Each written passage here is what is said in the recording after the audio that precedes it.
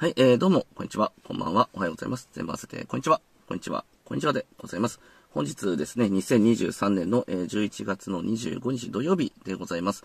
ちょっとあの、ごめんなさい、あの、喉が、やっぱり声がまだ回復 ごめんなさい、うん、してなくて、なんかインフルエンザに、まあ先週ずっとなってたところ、まあずっとというか途中で回復してるんですけども、で、その後、えー、こう、咳が止まらなくて、で、喉をやられてる状態で、あの、聞き苦しいとは思いますが、はい、申し訳ございませんが、よろしくお願いしますというところで、で、今年って、その、あ、ごめんなさいね、余談なんですけど、そのインフルエンザだけじゃなくて、えー、まあコロナであるとか、えー、溶連菌とかもこう冬流行っているんですけれども、結構なんか喉やられる人、なんかこれ、これ肌感なんで、あの、これが絶対もう広がってるっていう風なんではないんですけど、なんか肌感として喉やられる人多いなと、うん。なんかすごく感じますね。えー、で、結構私の周りの人たちとかも、声が結構やられたりとかして。で、さっきまでまあ喉飴舐めてたんですけれども、やっぱ喉飴だけじゃ、まあ声はね、うん、回復しないなというところでございます。で、あとなんか、最近ちょっと動画上げてなかったんですけど、えー、まあそのインフルエンザの後に、ちょっとね、あのー、まあ23日はもう一日中寝てたんですよ。で、24日、昨日は、えー、あの、まあちょっと、ちょっと早い忘年会みたいなやってました。えー、でもまあそんなにね、大量にその飲んだとかじゃないんですよ。んちょっと、まあ、ちょこちょこちょこっとね、あのー、まあ1、2杯飲んだぐらいだったんですけども、いや、効きますね。久々に飲むと。で、まあ帰って、っていうところです。とてもま動画なんか撮れる状態ではないです。代行を普通に使って帰ったんですけれどもね。えー、で、えー、っていうところで、まあ本当、体調気をつけていかないとなと。で、あのー、なんか過去、もう、なんかさ、今、今季、ね、えー、一番の寒さなんてね、あの、テレビでもニュースとかでやってましたけれども、え、まあ、本当えー、寒さ対策やっていただければと思います。そしてですね、今回は、え、サニージャーニーでございます。はい、サニージャニーの話。で、何かっていうと、その、まあ、高額医療費制度と、その、1年間、まあ、要は、その、膵臓、膵臓がんの治療に1年間かかった費用と高額療養制度についてっていうのを、まあ、その、公営士が出してるんですよ。サニージャニーの動画で。で、えーとね、これね、あの、その、一回、その、医療費の動画を出してて、で、それ、もう1時間か2時間かなわかんないですけど、その、まあ私全然見てないんですけど、その、数時間、だから私が見る前段階で消えてたんで、内容はわかんないですよね。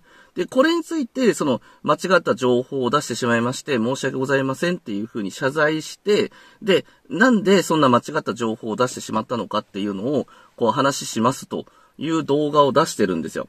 えーで、じゃあ、その動画で誤解とかを招かないのかっていう話になるんですけども、これね、聞き方によっては、やっぱり誤解を招くんじゃないかというところなんですね。で、まあその高額療養制度って何かっていうところなんですけど、まあ、端的に言うと、その、医療費って、えー、まあ変な話、その、まあ高いんですよ。うん、変な話じゃないわ。医療費は高いんです。高いです。えただ、社会保険って払ってるじゃないですか、日本、日本は。日本人のサラリーマンとか、まあ、要は自営業の人とかもそうなんですけれども、あの、国民皆保険で医療費って払ってるんですよ。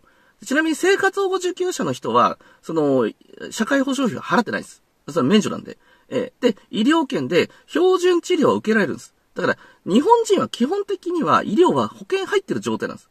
うん、で、社会、生活保護は無無料。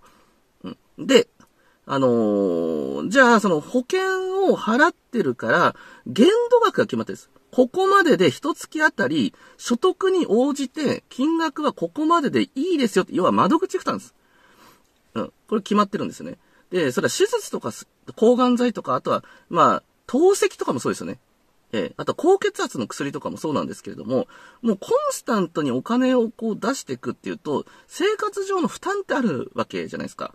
ええ、で、あの、医療器具とかってのは当然この、やっぱ高いものですし、薬だってその安いものじゃなくて、何よりお医者さんの、その、治療っていうのは、まあ、手術とかすれば当然そのかかるわけですよね。えー、で、あの、入院だって、そんな安いもんじゃないんですよ。ええ。だから、だからただ、標準的な入院費っていうのは全然かかないですよ。ただ、個室とか、それから差額ベッド代とかってあるんですけど、まあそういった、あのー、もろもろのやつ、個室とかをやる、これは、あの、標準治療とは違うんで、これは別途です。これは、これは民間の保険入んなきゃダメです。えー、で、この所得に応じて、金額が上限が決まってるから、日本人の健康っていうのは、まあある程度やっぱり保たれてて、で、えー、癌治療をやったとしても、あのー、まあ、限度枠で多数該当だと4万4千円っていうところがあるので、あのー、もうね、60万円以内に収まるんですよ。うん。なんでかって言ったら、その、あ、すみません。今のはちょっと、えっ、とね、5円招くか。今の金額だと。所得に応じて変わっちゃうから、そっか。えっとね、要は3、4回目からの、その、高額医療その限度額を超えた分っていうのがあって、それを超えた分が3回続いて4回目からは、もう、その一定金額で決まってるんです。これ4万4千円決まってるんですよ、4万4千円で。それで、それがもう毎月続くんですよ。うん。ここれで、これに関しては過去動画で上げさせていただいてるんですね。えー、で何かって言ったら、それはな、なんで過去動画で高額療養費制度について上げてるかって言ったら、もともと、このサニージャーニーの方が、がん治療は金がかかるんだよっていうのを出してきたんです。去年。だから、いやいやいや、違うでしょって。がん治療はお金がかかるから、お金集めをしますっていう風に言ってきてたんです。で、これ、アベマプライムとかでも言ってるんですよね。がん治療お金がかかります。だから、あの、クラファンをしますって。えで、そこがある日、水木が浮かない顔をして、それ、あの、水木の幸せのために使いますに変えて、で、お布施にします。クラファンやめますって言って、お布施にしますって言って、実はそのお布施はもっと前からやってたって、そういうオチなんですよ。うん。だから、いやいやいや、そんなお金の集め方とか、そんなおかしいだろうと。高額療養費のことを、高額療養制度のことを無視して、ね、あの、そういうやり方って、それは変でしょって。アベマプライムでも、その高額療養制度の話が出てないわけ。だから去年私動画出してるんですよ。もう1年前だよ。1年前で話してんだよ、これ。ええ。そしてだよ。お金、今回間違ってしまった理由なんですけれど、とか言って、あのー、その、富山の方に、マンスリーマンションでさ、ってあと住所を変えてたりするからって言ってるんですけど、ちょっと待てと。ね。で、ふあのー、複雑だとか言ってるんですけど、あのー、そもそもなんですけど、高額療養費に関しての、あの、ブログ書いてんだよな。サニージャニーって。2022年12月12日8時33分45秒。いやいや、これ、これ、だからこれがあるから。これアップしてて、そこで題名、がん治療ってやっぱり高いって。えそして、その今回、その210万円ほどで、まあ、200、まあ、210万円ほどが、その金額でかかったと。で、これが仮の金額だって言ってです。で、なぜかって言ったら、その、私コメント欄でも話、あの、書かせていただいたんですけれども、その、限度額って収入に応じてって話させていただいたじゃないですか。で、じゃあ限度額が私たちの場合この金額なんですっていうと、所得の区分が分かっちゃうんですよ。だから、出してないと。いうのを言ってるんですね、今回動画。この区分が、金額が分かっちゃうからっていうことを言う前にもう普通コメント書いてるんだけど、で、で、だからそれをかけ3です。で、それを、あの、仮に57,600円の区分にしてるんです。で、57,600円かけ3の、あの、残り8ヶ月じゃん。で、これは4万4000でしょ？えで、か、で、それをプラスして、そうすると60万円かかってないんですよね。えで、それ以外、だこれ52万8千円ぐらい。えで、これプラス医療費その他っていう風なことを言ってて、プラス宿泊費が97万って言ってて、で、この医療費その他っていうのは何かって言ったら、ビタミン C、高濃度ビタミン C だとか、あとはその、えー、っと、あれなんだっけ、えー、っと、セカンドオピニオンとかが、そういった諸々にかかった金額が60万4千円というところで、合算すると210万ぐらいかかった。え、この金額が間違ってないだって医療費でかかったのって200、その、もう、その標準治療で終えてんだから、ご、まあ、約55万ほどじゃん。うん。でしょ？で、宿泊費とかってこれさ、別にかからないんですよ。普通の人たちっていうのは。普通の人たちっていうか、セカンドオピニオン何回もやるとか、その抗がん剤治療中とかに、あの、住所変えてとか、もうそれでやらないじゃないですか。で、そこで、あのー、まあ、これが仮の金額って言ってるんですね。ただ仮の金額って言ってるんだけど、じゃあこのブログ何なの？って話になるんですよね。ねで、ブログの内容は何かって言ったら、あのー、水木の場合は、えー、医療費の限度額は57,600円って言い切ってるんです。今は僕と水木はまだ未婚なので、昨年の水木の所得から算出されるわけなのですが、って言って。えー、で、ただ限度額があると言っても後で返ってくるお金なので、一旦自己負担は高額になりますって言って、書いてるんですよ。え、で、入院の時、その退院の時に、だあの、請求されたのが16万180円。で、これはまた返ってくるんですよ。うん。多数が、あの、これ合算できるんで。え、入院費と、その、レセプトごとなので、入院費と外来って違うんです。違うんです。でもこれ合算できるんですよ。で、これ後で返ってくるんですよ。うん。で、この記事を書いているのが、もう昨年の12月なんですよ。12月ですよ。で、しかも57,600円、水木の場合はって言い切ってるんですよ。じゃ仮の金額57,600円の区分でって言ってるっていうのはさ、じゃどっちなの？って話じゃん。で、こっちは57,600円じゃないとするでしょ。そしたら、この12月に書いた記事、嘘になんない？え？え、え、な、なんない？水木の場合は57,600円って言ってた。仮とか書いてないんだぜ。これ、ブログ書き換えられんのかな？この後記事を。でしょ？ええ。だから、それは金額が違うって言ったっていい、じゃあ5万7600円なんだよ。57,600円なんだよ。うん。で、そして、その後、動画の最後の方で、まあ、いや、かかったね、と。で、その、実際は、その、視聴者の人とかからも、その、限度額の方が、限額認定出して、高額療養制度があるから、そんなにお金かからないですよっていうふうに、まあこれ助言ですよね。ええ、いわゆる。まあ、そんな心配する必要ないですよ、みたいな。え、これがあったんですけれども、これに関して間違った情報だと思ったので今回動画出したっつうんだよ。間違ってないよね。がん治療のその治療費に関しては、高額療養制度があるから、限度額内で収まるよっていう情報は間違ってないでしょこれ間違ってます？限度額決まってんだよ。これ。で、これ以上治療費でかかるからっていうのが、これが間違った情報だと思ったっていうのは、これ、これはおかしいんじゃないかって話なんですよ。だって、宿泊費だとか、そういったものって結局誰が止まってんのって公平士じゃないですか。じゃあ私が癌治療をやるって言ったら私ただ孤独にやるだけじゃん。ええ。で、私がじゃあ治療を受けますって言って、身内のその例えば親とかに来てもらうって私それ宿泊費払う？払わないでしょ？セカンドオピニオン6回も7回もやる？やらないっすよね。高が、その高濃度ビタミン C とか使う？使わないでしょ癌治療の標準治療でやったら、限度額の範囲で収まるんですよ、一旦。で、確かに、その、それ以外の、その、癌に関わる、えー、何らかのものっていうのがあるかもしれないですよ。例えば野菜スープとか作ったみたいな。でもそれが治療として、その癌治療にかかったお金と金額っていう風に組み込むんだとしたら、したらですよ。それって癌治療のためのものだって言い切っちゃってんじゃん、逆に言ったら。でもそうじゃないんでしょ。それ食費じゃん、そういうのって。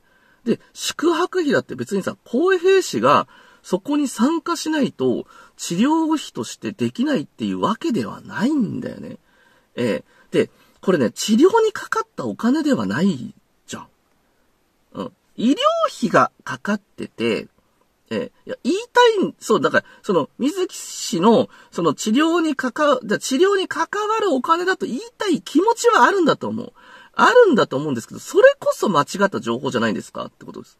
えがん治療がお金かかるよって言うけど、で、あのー、常々さ、そのたびたびだな、たびたび常々、まあいいや、あの、ー、自分の愛する人が癌になったとしたら、どうでしょうか？みたいに、こう疑問を投げかけて、その感情論で出そうとするんですけれども、みんなね、そんなのを言ったら、あのー、医療費のことやったらね、天井知らずになっちゃう。青天井ですよ。で、プラス、あのー、なんていうかさ、俺がもしもとか、ね、愛する人がなったら、みたいなさ、そういったドラマチックな話をしたらさ、それは、ね、あのー、想像したらってかっこよくなりたくなるんだよ。うん。だけど、実際は自分のお金ってのは有限であるわけだから、有限なんだよ。その中でやりくりするんだよ。そもそもが。だから高額療養制度ってのが日本はかか、あるわけじゃん。ちゃんとした一定の水準で国民全体が健康を増進していくっていうその目的もあったりして、弱者救済とか福祉の増進ということでやってるわけですよ。うん。ね。それを何でもかんでも自分がもしかかったらとか、愛する人がね、病気になったらとか、ね、癌になったらみたいな、何やりますかって言ったら、え、そしたらさ、も、もっとすごいこと起きるよ。自分の愛する人が何だとかとか、ね、私が仮にもし、あの、明日死ぬみたいに言われたら何しますかって言ったらさ、ね、変な犯罪に走る人もいるとかさ、そういったその、もしも論ってそういうことなんです。ええ。だから、そうすると、愛する人がかかったんだから仕方ないっていうふうに免罪符みたいに、あの、やろうとするんですけれども、いやいや、違うじゃんっていう。その金額の中でできるものって決まってるんだからってことですよ。ええ。まあ、愛する人が、じゃあ、あの、癌にかかったって言ったら標準治療まずしますよ。ええ。で、情報は調べますよ。でも、セカンドオピニオンで、っていうことを6回も7回もとか、ね、富山のところに行くとかっていうところが、それお金がね、あの、バンバンバンバン入ってくんだら別ですよ。ええただ、じゃあさ、そしたらさ、もっとさ、先進国のアメリカに行くだとか、そういった話にどんどんどんどん議論が発展してっちゃうじゃん。借金をしまくるとかさ。ええで、とにかくお金をするみたいなさ。だから、結局、僕たちは200万ガンに関わるお金かかったんですよ。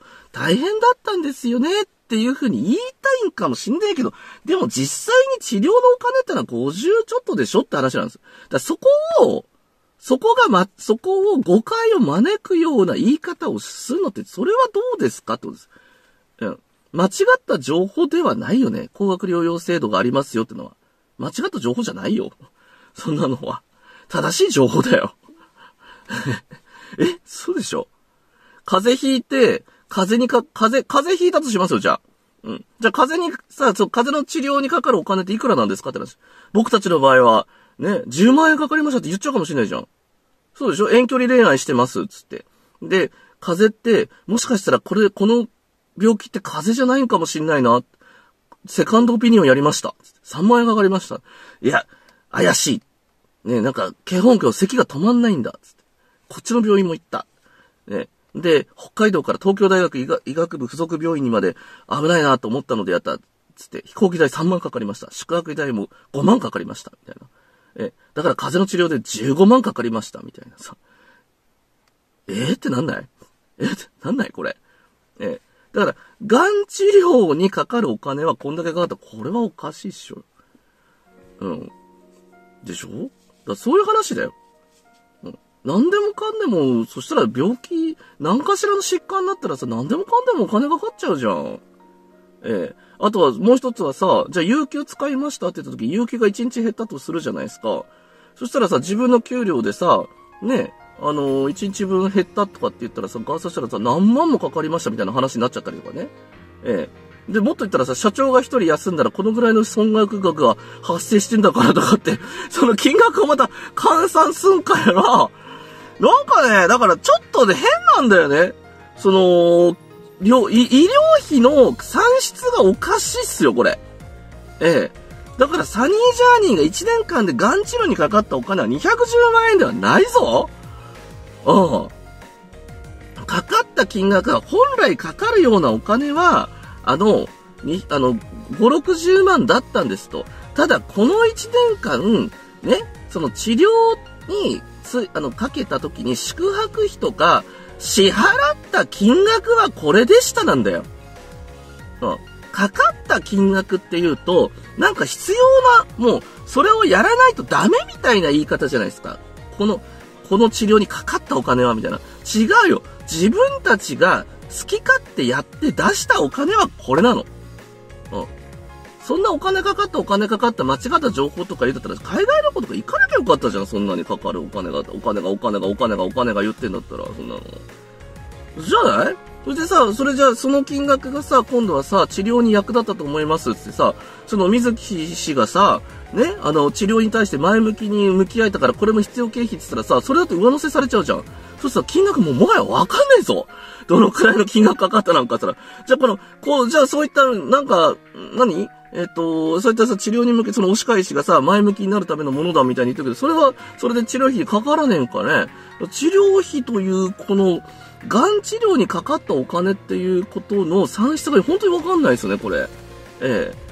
ねえ、だから結局さ、その水木氏がさ、なんで、その治療を前向きに続けることができたかって言ったらさ、やりたいことリストがあったからとか、それを叶えることが、ね、あの、目標だったからとか、うんぬんつじゃん。じゃ、それかん、それをさ、経費として換算しちゃったらさ、もう、もっとかかっちゃうじゃん、これ。でもそれを医療費として認めるんかって言ったら、それは認めないよねってやってるんだったら、そしたら治療費はさ、やっぱり高額療養費の金額の中で、は、収まるってことでしょ？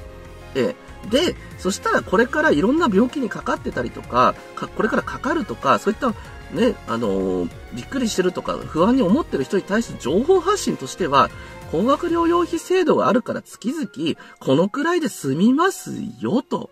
えただ、その上で、ね、あのー、まあ、てか、その上でとか、まあ安心してくださいってことですよね。それ以外は自由にいろいろできますよってことじゃないですか。うん。ええねだって別にさ、富山の病院とかって行く必要なかったのかもしんないじゃん、これ。うん本人たちはね、納得のためにやってるの、これ。ええ。だから、これが、その、セカンドオピニオンとかさ、その、ものとかだって、ね、6回目とかそういうのもさ、納得のためにって言ってんだよ。僕たちは納得いかないのでって言って。ええ。納得のためで治療費じゃないじゃん。うん。です。で、もう改めてなんですけど、これが間違った情報だと思ったのであげましたっていうのは、これこそ間違った情報じゃないかなと思います。うんはい。で、改めてなんですけど、200万かからないです。かからないです。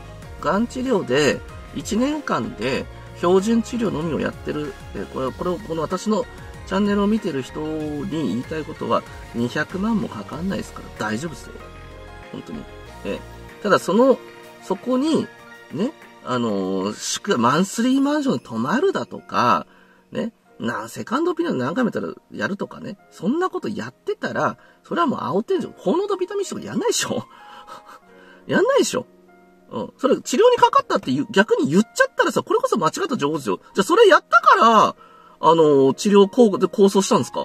あ、走行したんですか？わかんないじゃん？それ。ええ。でしょ？それまで治療にかかったお金って言ってたら、その、高濃度ビタミン C も効果できたみたいな言い方に聞こえる人もいるよってことです。うん。だからそれ、その、そこは、やっぱり気をつけた方がいいですよね。え、というわけで、えー、本当にね、ちょっとね、うん、お金とかその、医療費とかさ、で、その、12月にさ、こうやってさ、高額療養費のブログ出してたりするのにさ、それをさ、今更になって、いや、これはなんかコメントでもいただいたんですけど、分かりづらいですよねって、うんぬんうんぬん言ってるけど、それかなどうだろうね。いや、ちょっと怪しくないかなって思うな。で、しかも領収書が新たに見つかったとか言うんで、結局その管理の問題もあるじゃないですか。自分でその、かかった領収書ってさ、ファイリングしとくよ。うん。高額療養費の話してるんだから。ええー、それはファイリングしとこうよ。そう、これは。ねえ。ええー、で、今更になってそれが分かりませんでしたっつって、じゃあなんでこのブログ書いてんのこれ。でこの57,600円ってのも仮の金額で所得がわかるとか言っても、この12月段階では57,600円って生きてかで本当改めてだけどね。うん。えー、だからそういったズレがあるんで、あのー、やっぱり気をつけてください。っていう話でございました。最後までご視聴いただきましてありがとうございます。本当に、あ、ごめんなさい。最後までご視聴いただきましてありがとうございます。じゃあね、バイバイ。うん。だからかかった金額だからそのまんま、あのー、や、発信するだけで間違いねえんだから、ね。その、いっぱいかかったってアピールはいいよ。